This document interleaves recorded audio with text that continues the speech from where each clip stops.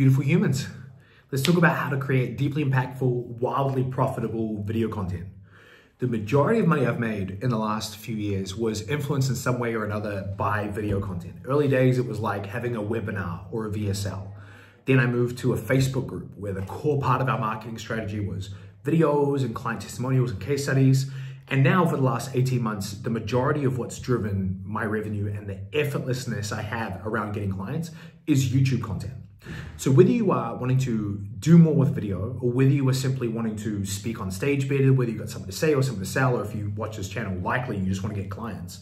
I want to walk you through the four things that I think about whenever I'm getting on stage, whenever I'm turning a video camera on, that help me influence people in a really kind of seemingly effortless way and end up making me a ton of money on the other side because of the structure with which I use and the way that I communicate. So I'm hoping this video is helpful for you.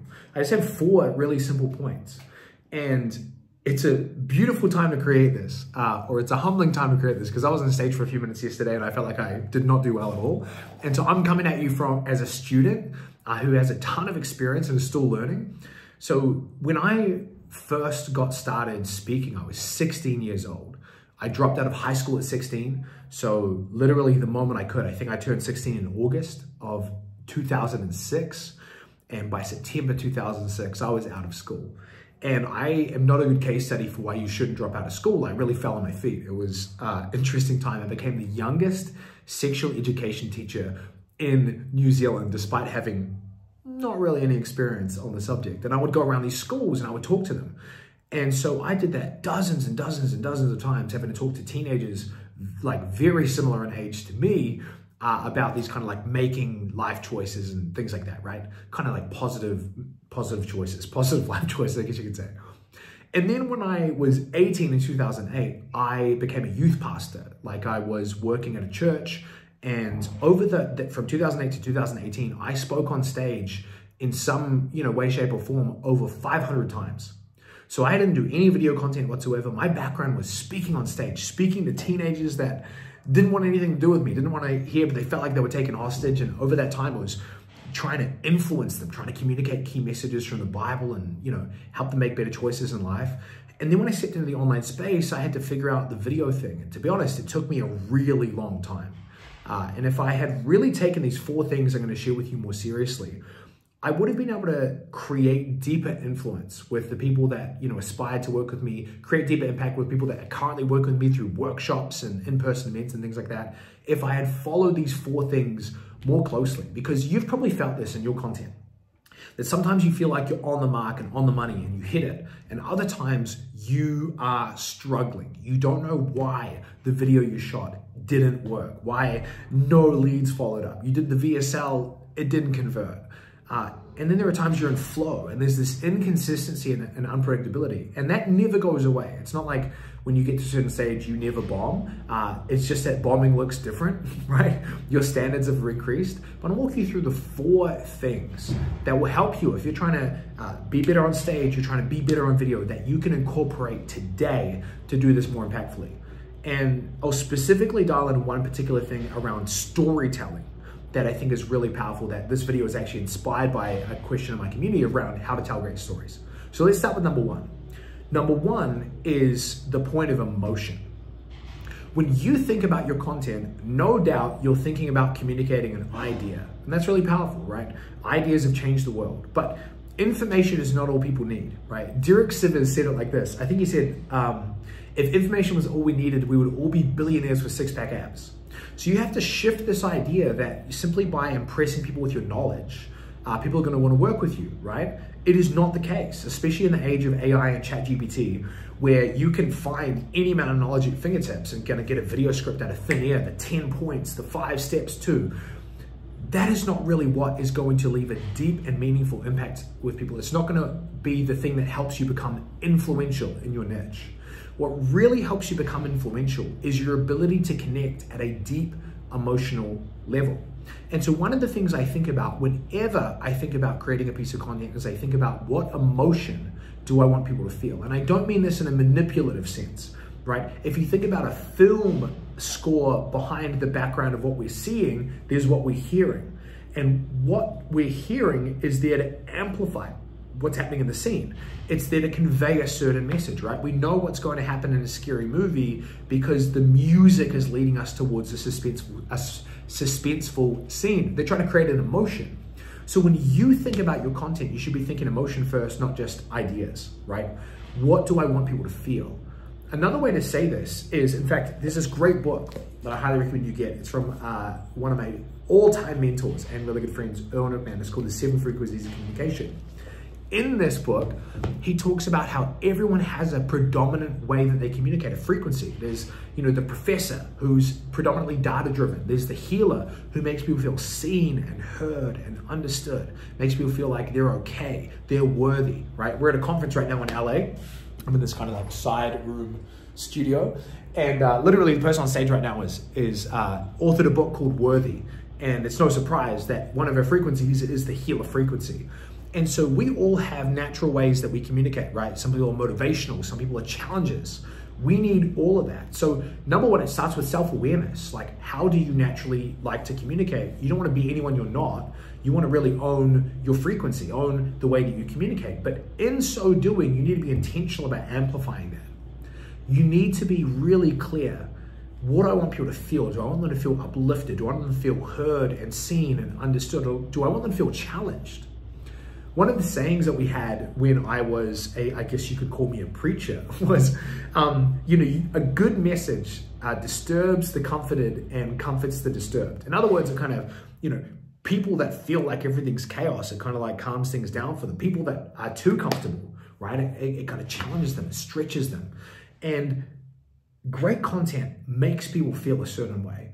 And so when you're thinking about creating an Instagram carousel or, you know, predominantly what we're talking about here is video content or spoken content.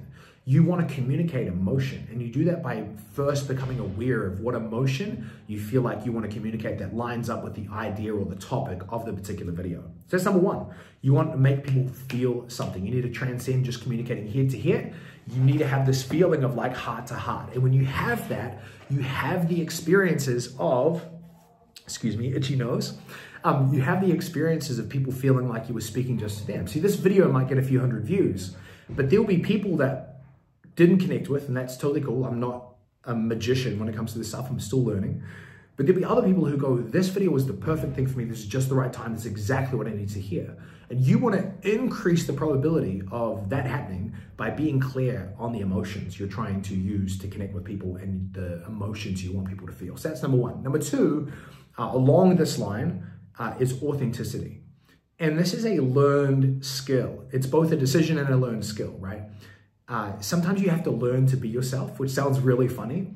Like when you're creating content, I'll never forget when I was speaking a lot uh, in my years of being a youth pastor, I would write so many notes, like pages and pages and pages of notes, because that's what everyone else did. And so I'll never forget being incredibly frustrated with how something went for all the right reasons because I was uh, going to be speaking at our church gatherings that Sunday to about 1,500 people across three different gatherings. And so normally in a week like that, I would set aside a bunch of time and I would map out what I was going to say. And what I would walk with, I walk up to the stage with on Sunday was an iPad that had pages and pages and pages of notes and scribbles and highlights. But that week, one of my best friend's dads passed away. And so my mind was not thinking about Sunday. It was trying to be there with my friend. We were at his family's house, we were at the funeral. And so I get to the city I'm speaking in that morning with no notes, with literally no ideas of what I'm going to speak on. If that sounds terrifying to you, it was terrifying to me. I was about to step on stage in front of four to 500 people and I didn't know what I was going to say. And so during the music time, I'm really just trying to create some space and connect and hear and whatever else. And I write like five words down. I feel like I get a couple of ideas and I figure out how to string them together. And I write five words down on my phone. And then I go up on stage and I give probably one of the best talks I've ever given in my life. And it was so frustrating because it was uh, not what I thought was going to happen. I thought it was going to be terrible. I had people coming up to me being like, that was amazing. Best thing time I've ever heard you. You felt like you were speaking right to me. Then on the flip side, I have had moments where I was so polished, so well prepared, so scripted. One particular time I was speaking at a camp of 5,000 people. It was such a big opportunity. I had like 10 to 15 minutes, so it wasn't long. And so I really prepared. I wrote down, I scripted, I, I'm saying like, this is the story I'm working with. These are the jokes I'm going to say. This is the moment I pause. So the joke really lands and then I say something else and then there's a double landing or whatever that saying is in, in kind of joke land. Um, and it was okay. It like, it wasn't great. And what I can tell you is that there are moments where I feel like I've been myself on video, on stage. And in those moments, I have really connected. Now, they might not be the most polished, the most fancy, the most impressive, but those are the ones that have deeply connected. Then there are other times where I, I feel like I'm so aware of how I want to be seen. I, I oh, really, the 5,000 teenagers, I want to be really funny, right? So I'm trying to be something that I might not be naturally. Authenticity is really the thing that allows you to create influence with your audience. It's the thing that allows you to get people to want to work with you and buy and stay and pay and refer for years. Now, it's a decision because some of you are creating a real clear sense of the person you are, and there's a distance between who you are and who you want to be seen as. There's an image management that you're engaging in. So there's a decision that you need to make around, am I actually going to be transparent? Am I going to be vulnerable? Am I going to let people see me for who I really am? Or am I going to pretend to be someone I'm not, right? Show the best, hide the rest. So there's a decision, but there's also a skill. You've got to find your voice. I don't think you just decide one day you're going to do it and then you find your voice and you sound amazing. It's like music, it's like art. You've got to find your own style and your way in this. But the commitment is am I going to be a voice or an echo? And why I'm sharing this is because you want to create deep impact, deep influence, you want to create this effortless client conversion machine through videos and speaking, you have to let people see you for who you really are because people buy who you are, not just what you do. They buy coaches, they don't just buy coaching. It's a quote from um, one of my really good friends and original mentor, mentors, Taki Moore, right? People don't buy coaching, they buy coaches. So they're buying into you. If they cannot see you for who you really are, connecting is almost impossible and you have to allow them to see you, which means your talks, your videos, you can't be the hero and everything. You can't be the person who seems like they have it all together because people can't relate to that. So number one is emotion. What do you want people to feel? Number two is, are you letting people see you for who you really are? Number three is really practical. So I want you to hang with me on this because this is the secret that I uh, have implemented to allow me to speak for hours at a time and have no notes in front of me. One of the key things that I have learned with structure is that you need to find structures that work for you, which means you need to figure out, do I need scripts? Do I need prompts? Do I need bullet points? Do I want none of that? And when I first started my events, I ran my first event like 18 months ago. So it wasn't that long ago.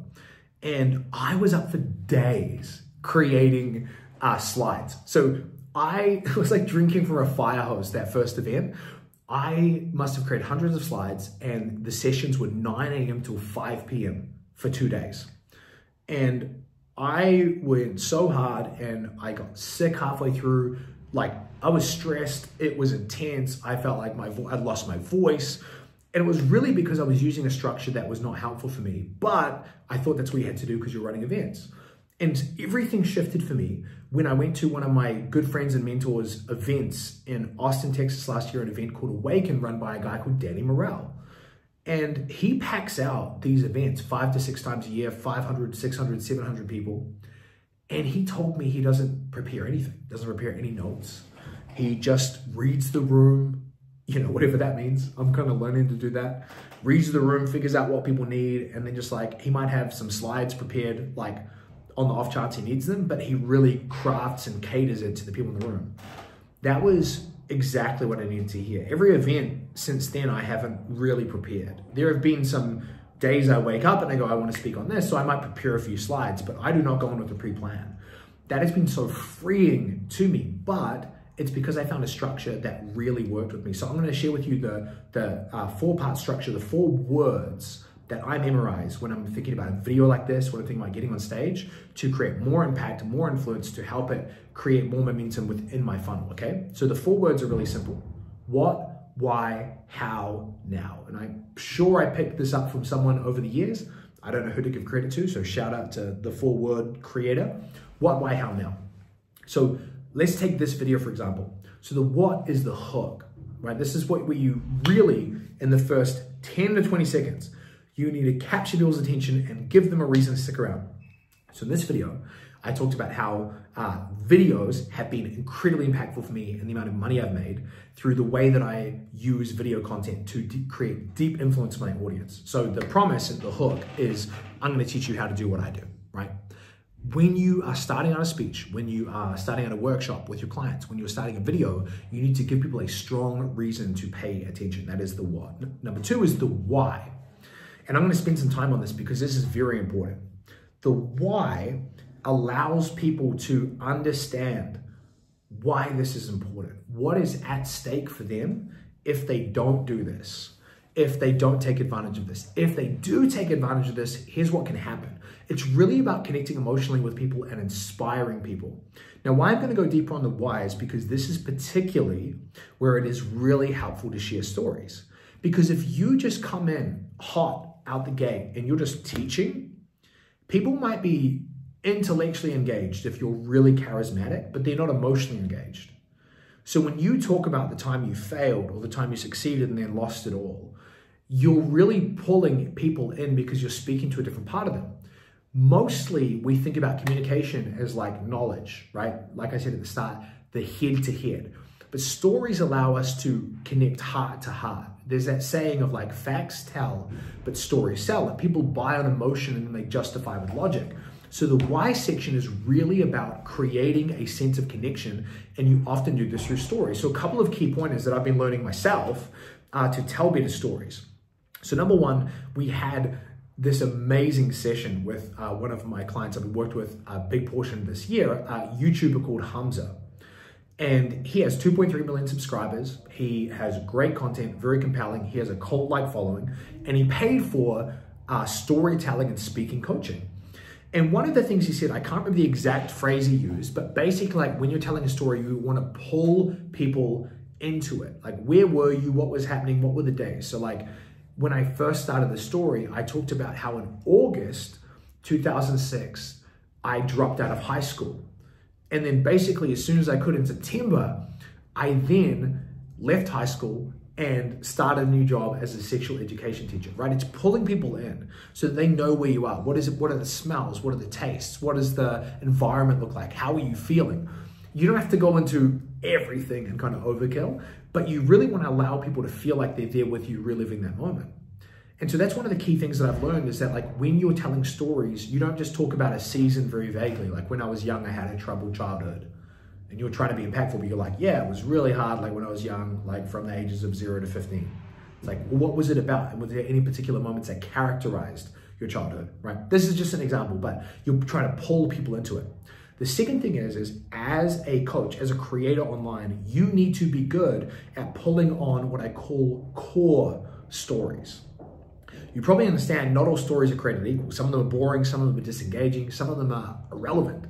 What you want to get good at is finding your key stories that really help people get to know you and help people get to know like how you came to be the person you are, what you believe, what you value, so that they can make like a connection with a reference point. And so one of the things that I talk about a lot is this pea in a bottle story right? You might have heard it. Um, I'm, I'm, not going to kind of go all into it, but basically the premise is in 2001, sorry, 2021, 20 years later, um, business was going okay, but we were stalled, right? We are at 130,000 a month, which is where most people would aspire to be, but we were stuck, man. And I'm telling you right now, like being stuck at 10,000, 5,000, 100,000, the feeling is the same. It's horrible. It's the feeling of failure.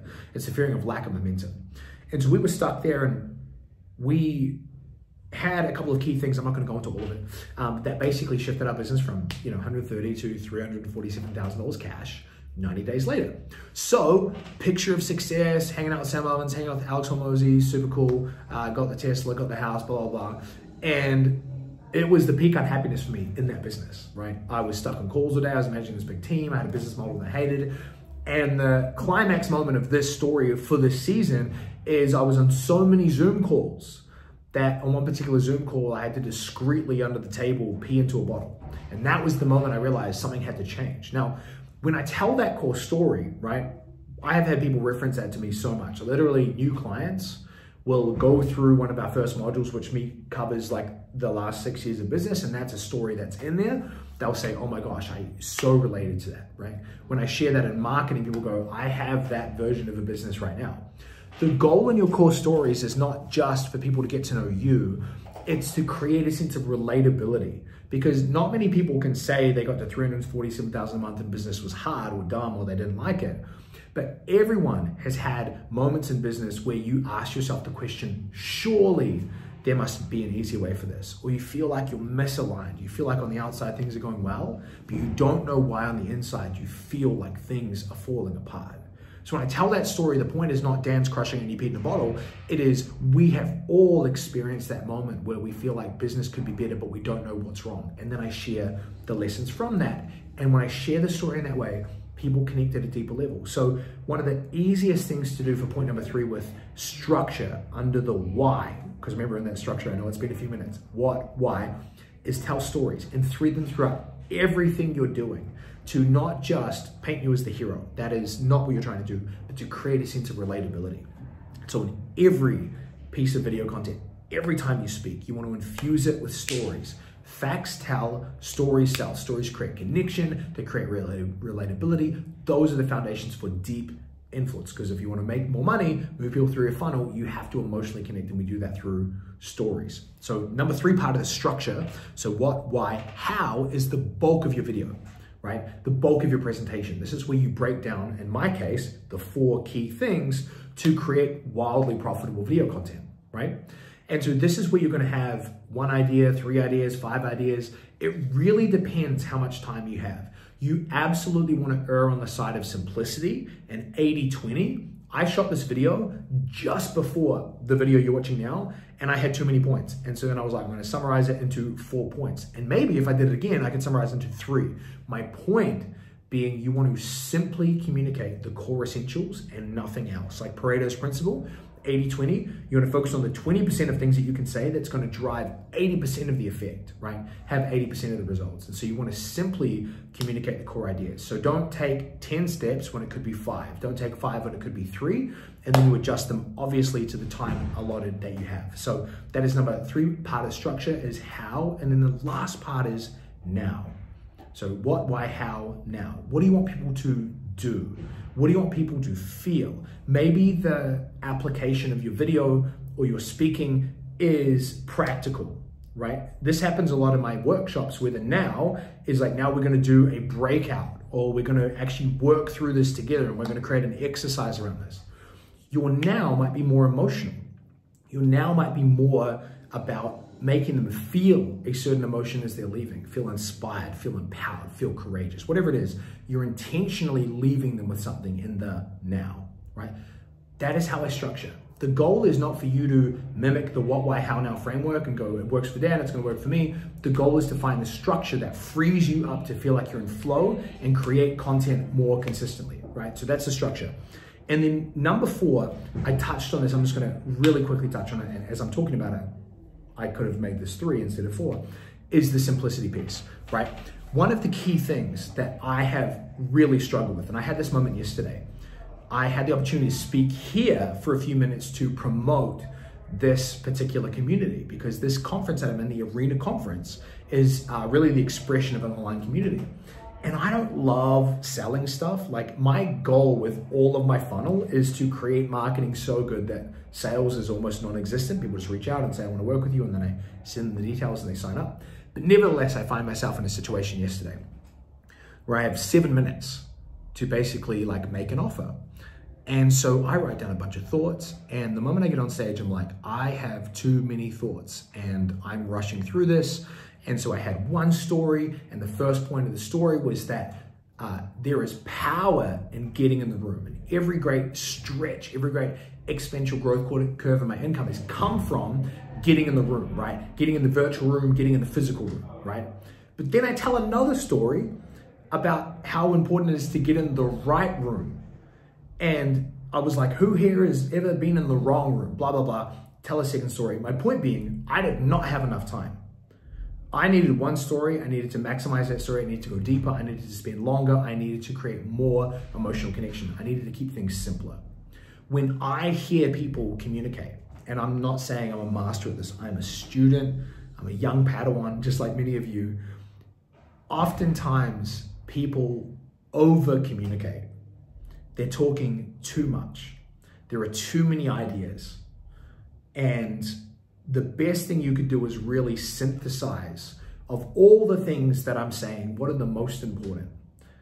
And the more that you refine the skill, the easier it is to spot. And of course, it's easier to spot in other people. Some of you are sitting there going, dude, this could have been a five minute video. And I probably agree.